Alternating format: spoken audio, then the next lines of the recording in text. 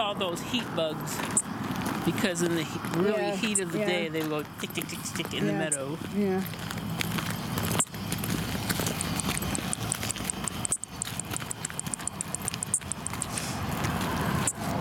You hear that ticking? Yep.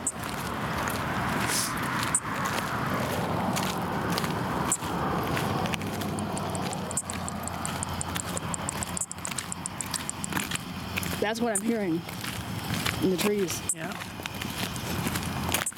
I hear it too, but not as clearly as you.